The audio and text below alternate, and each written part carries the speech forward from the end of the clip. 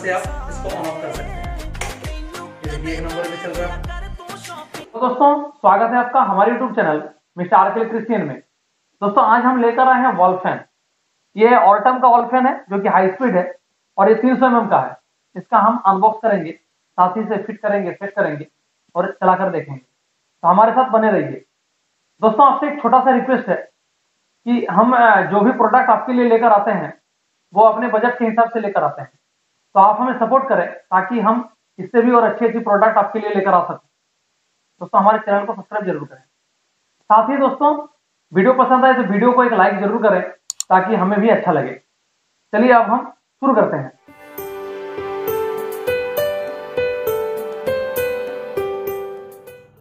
तो चलिए कर लेते हैं इसे ओपन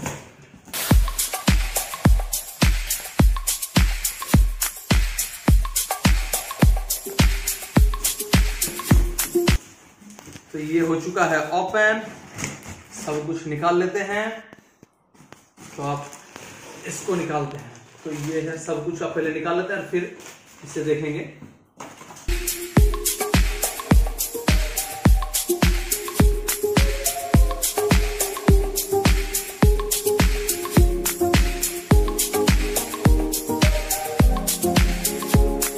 दोस्तों, इसका स्पेसिफिकेशन देख लें। तो दोस्तों, ये है इसका वारंटी कार्ड। ये आप देख सकते हैं, जो कि दो साल इसका वारंटी है। और इसके बाद ये जो इसका मोटर है, ये आप देख सकते हैं, जो कि 2100 आरपीएम का है। और ये इसका नीचे का स्टैंड है। ये आप देख सकते हैं, ये है इसका स्विच। एक, दो, तीन तीन स्टेप का है। बीच में जी, बंद हो जाएगा। ज़ीरो, बस। और ये इसका मैम कोड है, ये आप देख सकते हैं। इसका मैन कोड जो कि इसमें सप्लाई लाइन लेने के लिए। और इसमें डोरी बना हुआ है, ये आप देख सकते हैं डोरी। डोरी खींचने से इसका स्टेप जो है, ये कम बेसी होने लगेगा। स्विंग के लिए है और स्पीड के लिए है। इसमें रेगुलेट होते हो जाए ये आप देख सकते हैं। ये देखिए, दो नंबर तीन नंबर ये बंद ज़ीरो और इसको आप सेट करेंगे तो इसका नोब है। इसको खोलना पड़ेगा। ये देखिए, उल्टा थ्रेड का है। उल्टा तरफ़ ये घूम खुल, खोला जाएगा।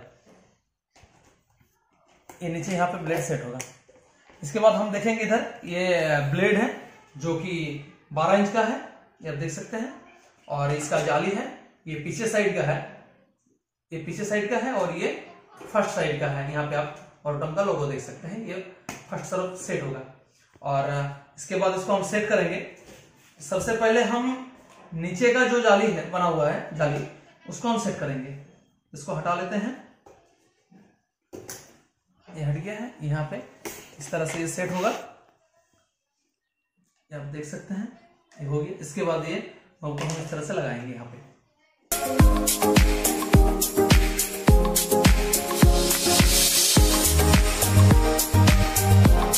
ये सेट हो गया। इसके बाद हम ब्लेड को लगाएँगे।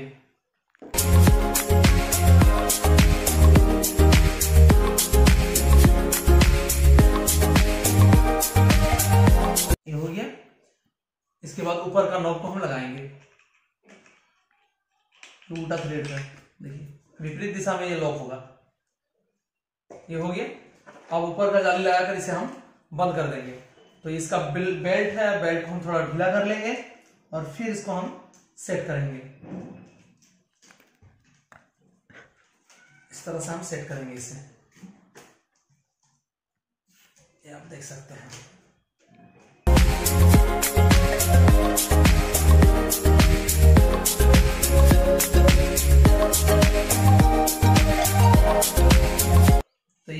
सेट हो गया है, ये आप देख सकते हैं।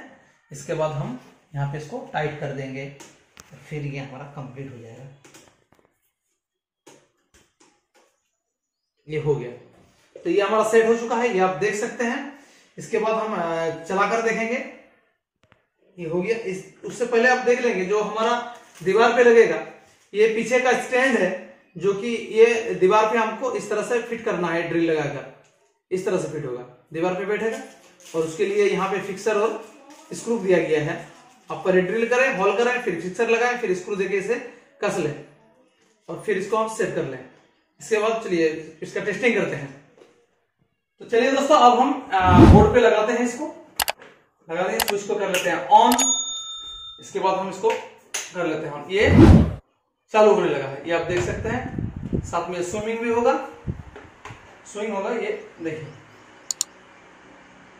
स्मूथली हवा दे रहा, बढ़िया लग रहा, घूम रहा भी अच्छा से।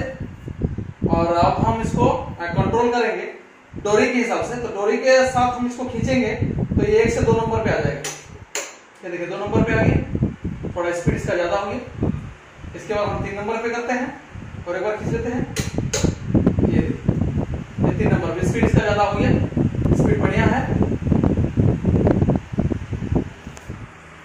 इसके बाद हम स्विंग पे इसका ऑफ़ करते हैं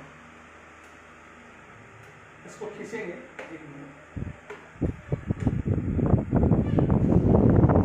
दोस्तों, इसका स्विंग जो है, ये काम नहीं कर रहा। कुछ काम नहीं कर रहा। सिर्फ़ इसका रेगुलेटर काम कर रहा। इसको ऑफ़ करते हैं। ये देखिए ऑफ़ हो गया। दोस्तों, दीवार पे इस तरह से ये लगेगा। ये आप देख सकते हैं। इस तरह से लगेगा। पहले ड्रिल करके वो लगाना पड़ेगा, उसके बाद इस तरह से ये दीवार पे लगेगा। और यहाँ से आप इसको ऑन ऑफ़ कर सकते हैं। ये देखिए, एक नंबर पे चल रहा। दोस्तों, इसका स्विंग जो है, ये काम नहीं कर रहा। ये डोरी काम नहीं हो रहा। तो इसको हम रिटर्न कर देंगे। मिलते हैं दोस्तों नेक्स्ट वीडियो में। हमारे साथ बने रहने के लिए धन्यवाद।